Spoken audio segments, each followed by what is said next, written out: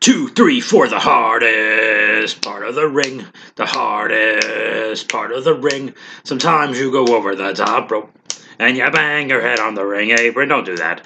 That's when you feel like a big dope. Because they're the worst bumps you can be taking. Oh, it's the hardest part of the ring. The hardest part of the ring. Sometimes you reach out for the hot tag, but then you go ahead and make your own comeback. Knock it off. That's when you should quit wrestling. And you're better off rolling in thumbtacks. AEW, the hardest part of the ring. The hardest part of the ring. Now double claps. Let's go, Bob Squad. I can't hear you in Europe. It's the hardest part of the ring. The hardest part of the ring. Ba da ba da. Whoa! Yay! What it is is what it is. What I am is what I am. We are saying stuff doing things, jumping off the walls, bouncing off the ceiling. where you got the rumors, the skinny, the scuttlebutt, the deep dish, getting hoodwinked, flim flam, shim shammed, and bamboozled. If the cat is out of the bag, the train has left the station. No water in the pool, went to the well one too many times. We are punching the clock, passing a buck, working hard but hardly working. A one trick pony, beating a dead horse, hogging the covers, staining the sheets, saving trees, hugging whales, kissing hands, and shaking babies. At this Hulu edition of Monday Night Raw episode on the hardest part of the ring. This episode took place on August 16th of 2021. I'm only showing I can hold my dates together because The Miz at one point said in five days at WrestleMania, and that is incorrect, because WrestleMania is far away. And uh, there were some other guffaws, some some faux pas on, on this bad boy as well. This Mamma Jamma, this Vincent Gambini. It was off the hook, off the wall, off the chain, under the table, under the weather, under the radar in San Antonio, Texas, where the governor has COVID. Eh, didn't need to mention that, but it did. Mm. that is good water. All right, you wild animals. Let's. Uh, I can't think of various business let's let's start with the show. We'll do the show and we'll do some chatting afterwards. How about that? What is that good? Not limited enough commercial interruption. There is a nationwide is on your side song of some lady singing uh, something something about being alone. Now she's a part of your home. And you see a woman with a new dog, like she adopted the dog, and there's a dad walking his daughter down the aisle at a wedding. Um, it's this commercial they show a lot because he used to be the, the country singer and the old football player with Nationwide going Nationwide. It's, a, it's insurance if you're not in the States. Didn't need to tell you all that, but just want you to know that in between every break, there's usually one commercial on Hulu that airs between every break for a year at a time. And right now it's this one. Excuse me. I need more water. I was sucking down some tortilla chips with some mild salsa. I'm not a crazy man, all right? I'm not embarrassed. Don't salsa shame me. Sometimes I like it mild. Just just want to get a little crazy, but not too bad. I love me a good mild. Speaking of mild, what a go home show for Raw.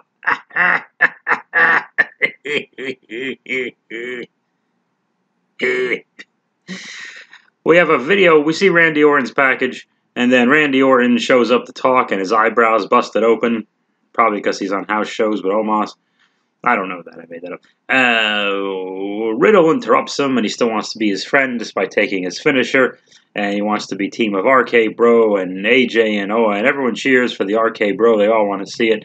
AJ Styles and Omos interrupt, and AJ does not like these guys very much and likes it when uh, one of them beats up the other one. So we set these matches up. So I guess it's going to be Riddle versus AJ later on, and Orton versus Omos. Uh, Battle of the O's uh, later on in the evening. Um, nothing really happened here. There was a lot of talk. It was just setting up two singles matches, is all it really was. I think it was as at this point. It's been apparent for months they're going to do this tag match at SummerSlam. So, what can you do here?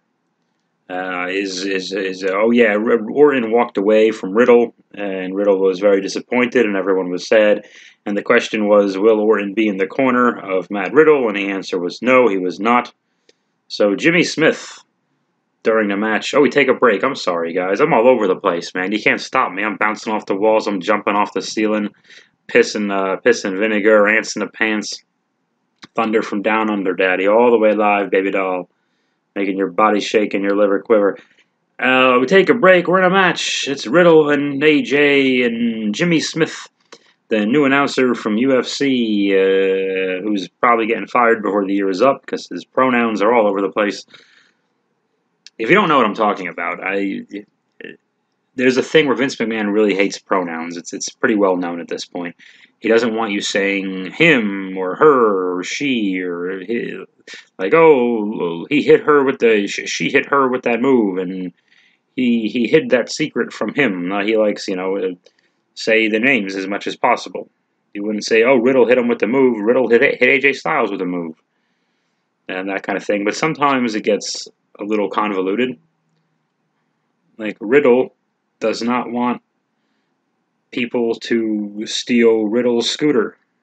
Well, no, you've already established the, the, the subject of the sentence, so the object would just be scooter and a pronoun refers back to the subject. No? Okay. I spent too much time on that. I apologize. But anyway, Jimmy Smith said regarding Riddle, can't question his offense, it's always high flying. No, it's not. I'll do one high flying thing here or there. He has his twisty bro thingies, but uh, he actually does very little high flying. Um, but when he does, it's a spectacular thing. So I, I don't know. That, I thought that was incorrect. AJ Styles wins the thing. There was some kind of distraction from Omos. I was distracted by my fish tacos so I didn't see what Omos did. He probably pulled a leg or something. I don't know. He's tall. Who cares? AJ wins the thing, and they beat up Riddle, and, and Orton is nowhere to be found. But then Nikki ASH talks to a blonde lady and tells the blonde lady the same promo. When I wear this outfit, I'm almost a superhero. And uh, Riddle is in the back, and he tells the blonde lady that he was. Maybe it's the Irish guy. I wonder who he told. I'm going to go back and look it up. No, I'm not. I'm totally not going to do that. Riddle told one of the announcer people he was really sad, and he made a sad puppy dog face, and everyone went, "Aw!" And you, you can't not like the guy. And Nikki Ash wrestles Rhea. I'm gonna stop for a second because I'm blowing through this pretty fast. Oh, this whole episode was. I mean, it's if, if it's not a deliberate, literal rematch after rematch, it was just hey, let's have uh, every single combination of these people fight before we do the actual match. And I understand with a three way why you would build a three way like that. So I really sh- maybe I shouldn't have stopped here to pick on this, but um, but yeah, we've had Nikki Charlotte, we've had Charlotte Rhea plenty times, and then Nikki Rhea. And in each one of these singles matches, we had we had two Nikki Charlottes. There was like a regular and a no rules thing during every one of these singles matches, the one who's not involved has to get involved. In this case, it was, uh, I think this was the second Nikki Rhea one, because didn't Charlotte interfere with one and bounce somebody off the top rope or something like that? I forget. And they would have tumbled to the side and hit the ring apron, which is the hardest part of the ring. Anyway, Nikki and Rhea are going back and forth. I mean, you got two baby faces, and that's you got two baby faces of different size and stature, so and attitudes at the moment. Because three years ago, Nikki was more like Rhea than Rhea is now, um, as far as that harder edge and everything else. But yeah, this was so odd because the crowd didn't really know what to do. Because Nikki always has to be an underdog babyface. She's basically Mighty Mouse. We've heard for years Vince loves Mighty Mouse. He loves underdog, goofy superhero in a cape, plucky. He likes plucky.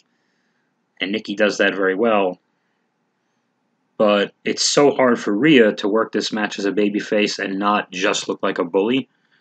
But she still has to take the heel role, meaning not turn heel and act like a bad guy, but deliver the most punishment offense and deliver that heat so Nikki could come back, make a comeback. So it doesn't, it just doesn't do anyone any favors. But it was like, well, you have to do it though, because then it's then it's just going to look like a handicap match. Uh, excuse me, differently disabled adults match at SummerSlam, right? So I don't know. I don't know about that. The whole thing is odd to me. Um, that was my original point. Yeah, so it was hard. Charlotte was on commentary, and Charlotte was good. So Charlotte on commentary. Uh, this is the second week in a row she's done this.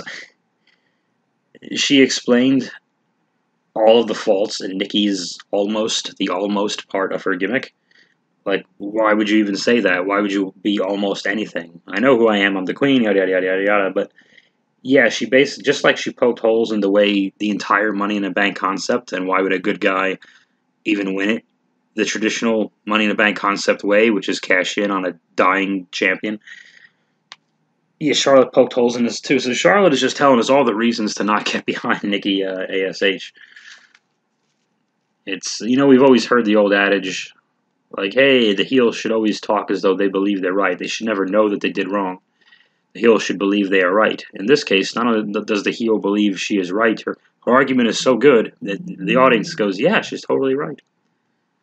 Anyway, Rhea wins clean over Nikki, which, you know, traditional uh, storytelling, and, and this program says Nikki keeps that thing at SummerSlam, but uh, I guess she would need it the most of the three of them, honestly, but it doesn't really. I think Rhea needs something to do. Uh, I think Rhea to Smack. My opinion is Rhea and Drew to SmackDown because uh, I know September, October ish is the draft season, whatever. The draft that isn't a draft, they just trade, but they call it a draft. Who cares? Okay, so, oh, but this is interesting. So, this is the best reaction Nikki got for the whole thing. She's frustrated. She sees Charlotte mocking her, and she attacks Charlotte and just beats the crap out of Charlotte, throws in a ring, and Charlotte runs into a clothesline by Rhea. But Nikki's sudden loss of temper, and okay, I know I'm a cheesy cornball, but I'm not going to let you call me a cheesy cornball. I'll call myself a cheesy cornball when I want to. To show Nikki's not a doormat. That's what, and I was so surprised, but pleasantly surprised to see this. That they said, okay, we've got this underdog. That is that. Yes, this underdog just lost, but how can you at least respect her character, even if she is clearly the underdog versus everyone she wrestles? And the answer is, well, have her have her not take shit from Charlotte. And people reacted really well, and I think it was against their will almost. Um, so really well done, and, and pleasantly surprised. It, it opened my eyes a little bit, made me look up for my fish tacos. But then I'm looking back down on my tacos because A, they're good tacos, and B, Jinder Mahal and his two buddies are backstage and then we see Lashley and has a colossal package along with uh, Goldberg as a peg package as well. MVP is talking to an Irish guy, and MVP is like, "You're Irish," and the Irish guy is like, "Yep." That's not what they said at all. That's completely false. Jinder Mahal and is, is, a tag team. Is a handy. Is another handicap. Is a differently abled adults match. Drew has fought more cronies and handicap matches than anyone I can think of in all of his feuds. Or maybe just seemed like he was wrestling Shelton and Cedric in some form all the time for a while. It feels like he was always wrestling a bunch of guys. And anyway, Drew wins. He pins one of the big guys with the Claymore. Claymore threatens him with a sword and tells Jinder at SummerSlam he's going to cut his, his dick off. I don't know. Anyway, I'm going to lean back here. Hope you can still hear me. Oh, I kick the thing. Uh, let me think here. So this is interesting. We do Moist TV. John Morrison or Johnny Drip Drip instead of Miz TV. He has this whole obsessed with water and hydration and somewhat disgusting gimmick. So he uh, he does Moist TV, and he's very good. He's got his water puns, etc., etc.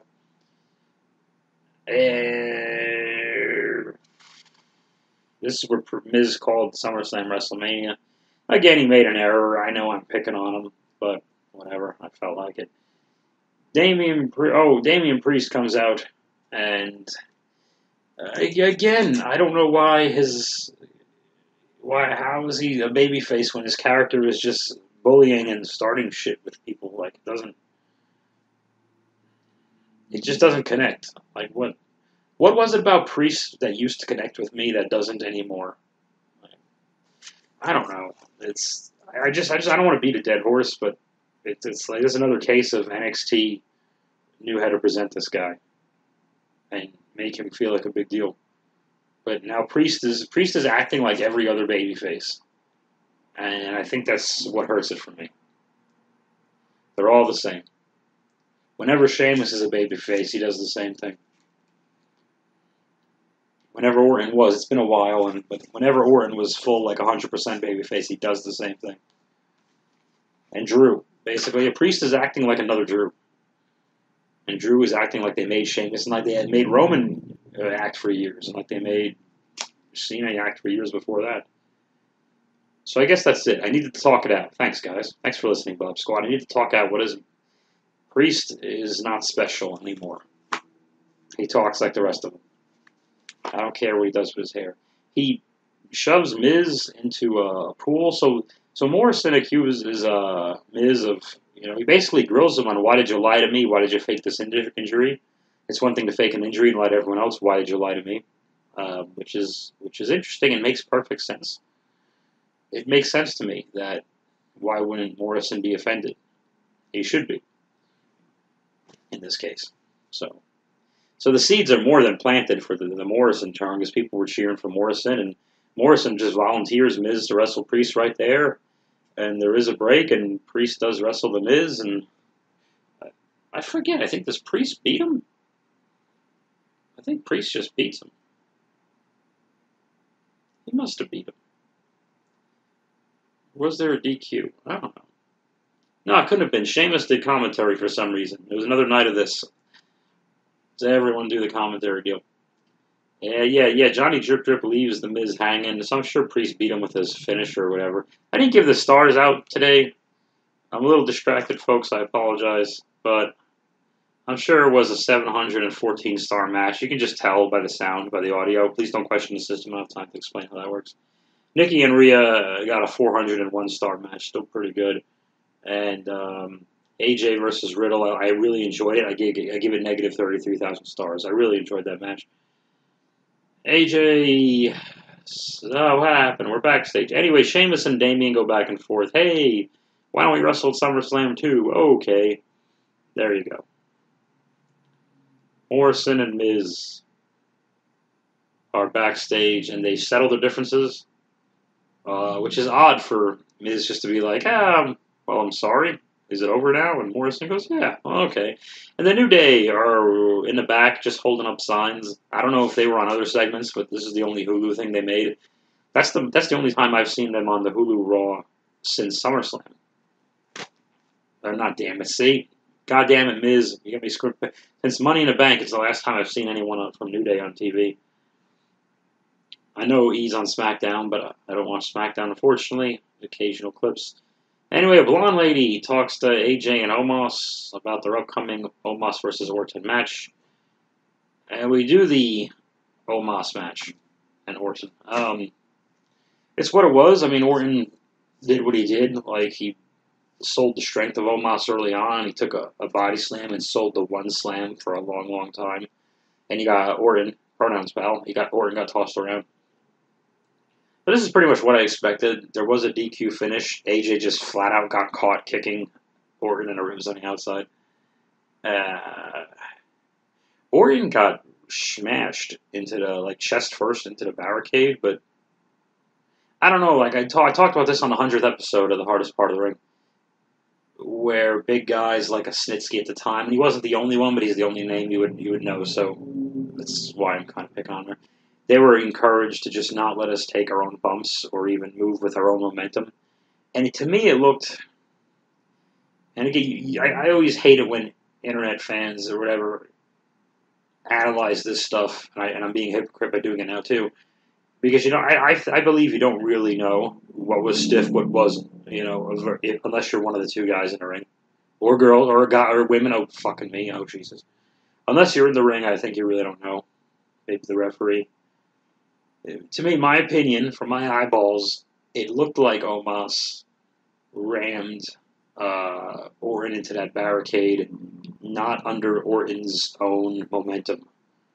Uh, like he was not letting Orton run into the thing. It was. It's really. I mean. I mean. It's. I, I don't think there's a big secret here. It's supposed to be more of a guiding thing, and you just want to, you know, flex and put your motion into it, and still move that person a little, but not so much that they're not in control.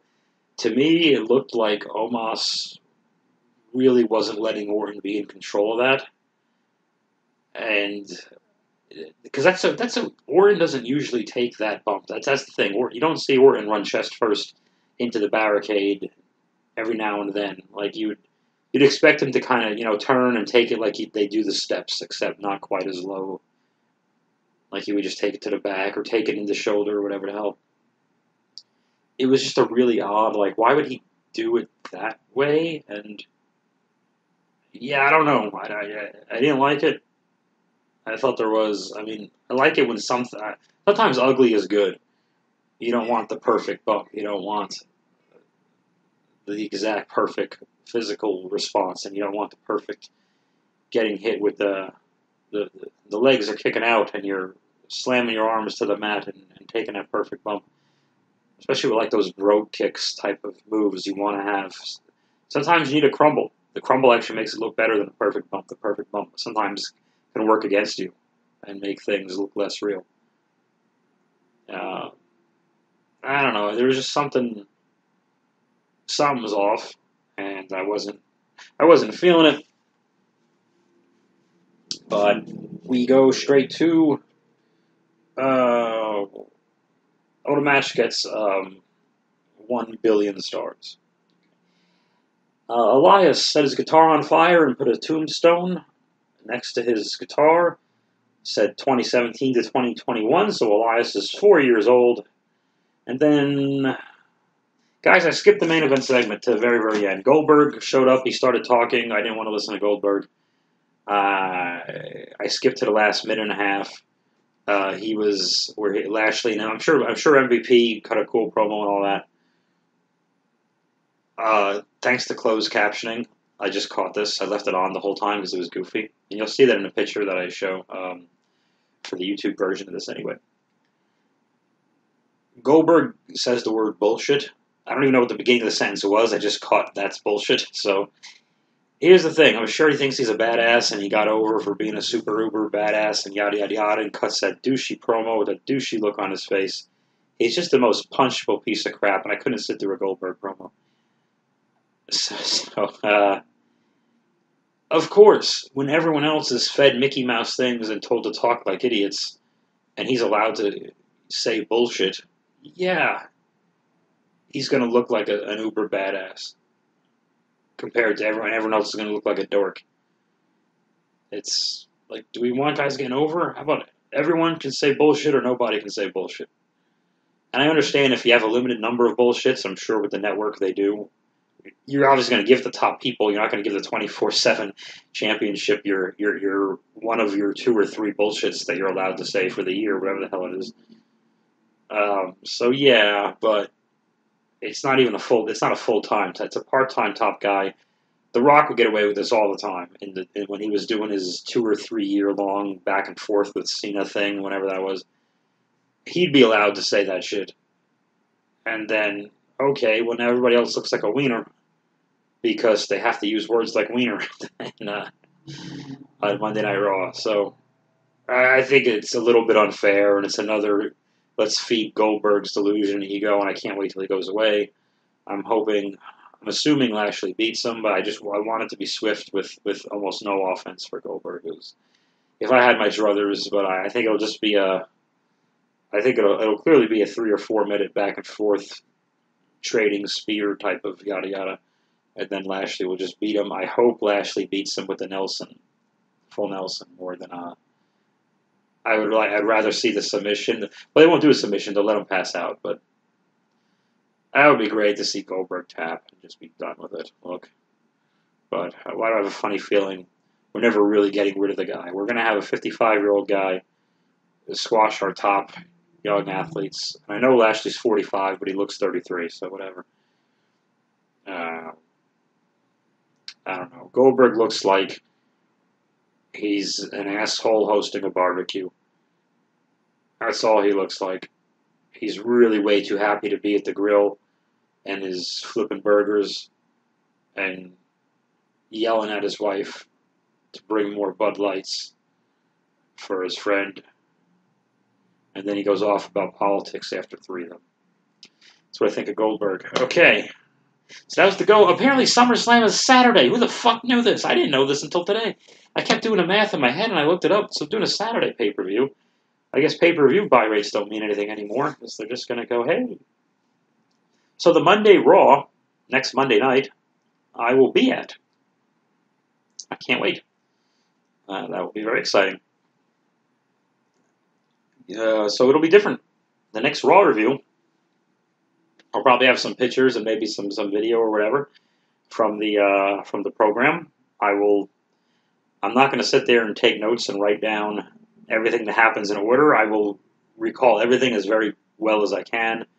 Um, but I'll obviously see the matches that are not on Hulu, and I want. I like getting to these things early. A because of parking and chaos and everything else, and B because I like seeing. I like the wait. I like the build and the hype to these type of shows. So I know they have those main event. It'll be like two matches, I guess, beforehand. So I like those.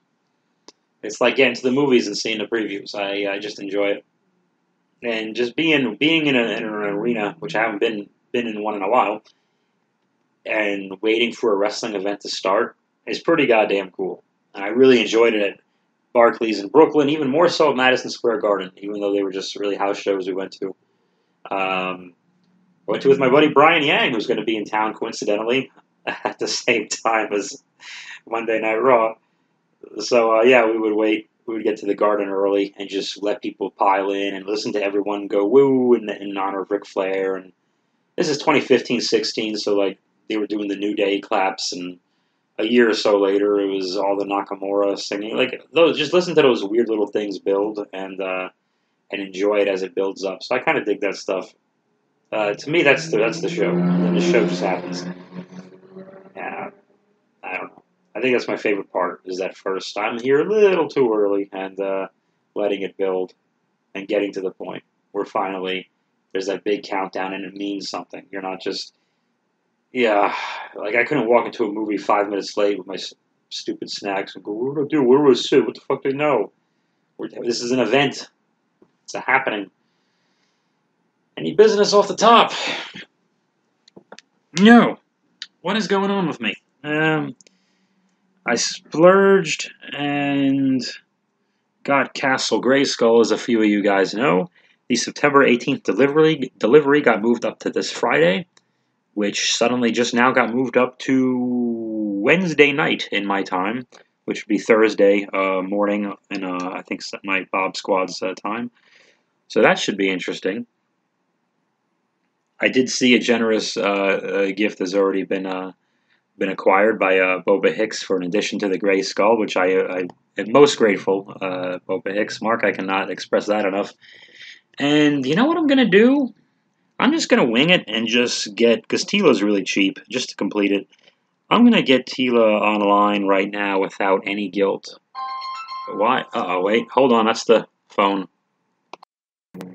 That was a spam call I interrupted a podcast for. I just interrupted the podcast for a spam call. I didn't answer it, but the number was 1 800, so who would call me? Why am I just going to splurge without any guilt? Even though I did pass up on a Hiss Tank 3 at Walmart earlier this afternoon, I just think I, I already have two Hiss Tanks and Hiss 3, while the, the tracks, the rusted, dirty tracks, look really cool. It's just kind of a repaint, and I'm not against it for the future, maybe, but at the moment it wasn't too much. I'm trailing, pardon me, I belched out my tacos. Um, why no guilt? Because god damn it all to hell, Bob Squad. Bobby got the job. Got the goddamn job. Hot damn son of a biscuit. Jokers are cracking wise. Weisenheimers are on the up and up. Hooligans are on the straight and narrow. Dames are flipping their lids. It's the bottom of the ninth. The bases are loaded. Two strikes, two outs. There's a scorch out there. 23 skidoo. Bap, bap, bap. They're throwing babies in the air. The sailors are kissing random women when uh, when that was allowed. I, Bob got the job. They said they're sending me an offer letter tomorrow. Uh, they offered verbally. I accepted verbally. They said tomorrow morning we'll send you a bunch of crap. Uh, you've got the job. Now, what does this mean? What does this mean? Well, first of all, will I be a little bit less available uh, for all the random back and forth uh, chats and videos? And will it be harder to schedule beach towns and hardest parts of the rings? Yeah, it will, but also we're only talking about a 40 hour work week here. I shouldn't have been this available the whole time. Yeah, you understand. So, no, I'm going to keep doing everything. If it ends up being a little later than I hope, I will hope that doesn't happen. It will be hard to do, but I will do the very best I can. Um, Beach Town, well, maybe number wise, uh, is the is the the least of um, the least successful of the projects to date. still, it's it's always going to be uh, it's always going to be priority there. It's a project I got with Jesse, and I do have some goals for it. Believe it or not. Um, so how about that? So Bobby's going to start working in a little bit. So that means I'm going to not really drive any Uber Eats. I can. Maybe we'll do like an hour or two over the weekend just for the hell of it. See if I can get a little extra cash. But um, now that I know the money's coming, it's like, ah, whatever. We'll be fine. And I have insurance, so hopefully I can just hold out. My hernia is under control, so if I can keep it under control for 90 more days, I'll be fine. I do have insurance in case anything goes really bad.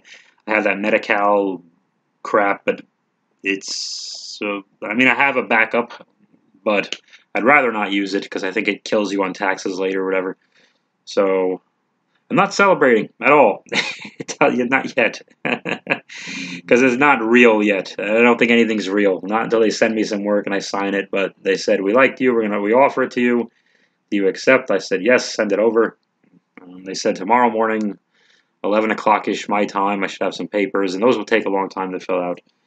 So I went to a job interview this morning for no reason. Um, the lady was wacky. She was very nice. A lot of sexual tension between her and I, most of it coming from me, but be that as it may.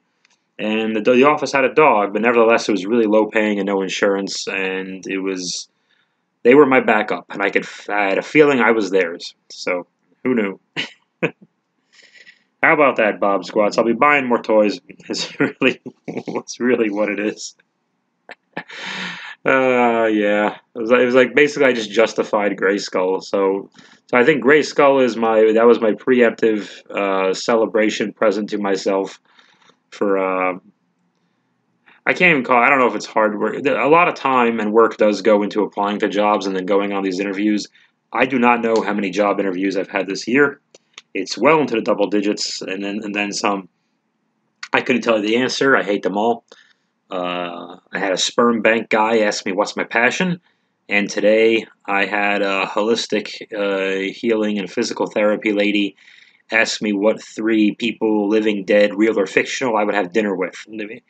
God damn it! And I and I said Randy Savage for one of them, and she looked at me crazy, so I switched it to The Rock because that's more universal. And Rodney Dangerfield and Matt McConaughey. I know that's already three, but then I also threw in Joan Rivers there because I didn't have a woman in there, and I'm like, oh, she's gonna fucking think I'm an asshole. So, um, yeah. I don't need, I'm not to have dinner with any of those people. Only one of them's alive. And I don't know Matthew McConaughey. Oh, well. I get my own goddamn dinner. How about that?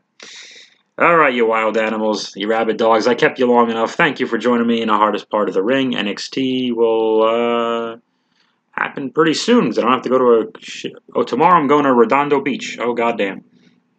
I'm going to Redondo Beach to visit uh, Luigi, the pit bull. So I have to get the I have to sign the letter and do all that before. Okay. So I thank you. I thank you very much. Uh, I did forget one thing though. Sometimes you reach uh, fucking goddamn. I messed it up. What was the other verse? Sometimes you're distracting the referee, and the babyface has your wrestler pinned. Then you get punched to the ring apron and you realize all the trouble you're in when it's the hardest part of the ring. The hardest part of the ring. Ba da ba da. Ba da ba da.